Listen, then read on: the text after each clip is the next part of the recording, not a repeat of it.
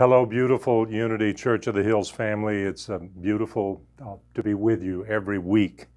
And uh, looking forward to Sunday, we're going to begin a two week series entitled The Four Agreements. And as you might guess, we're taking the first two agreements on this Sunday, and then the following Sunday, the second two agreements. These are the four agreements by Don Miguel Ruiz. A beautiful, masterful work, and I think one that we can really tailor to this particular time that we're moving through. If you remember from reading that book or hearing about it, the first word, the first um, agreement is be impeccable with your word. Jesus said that a little bit differently, probably even more definitively, when he said, Let your word be yea or nay. In other words, don't kind of fall in the middle.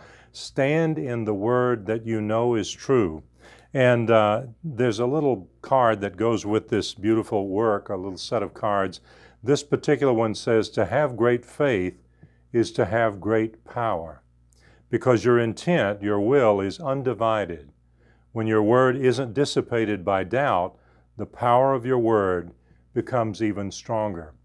And of course, we need to feel that strength in these days with all that's going on.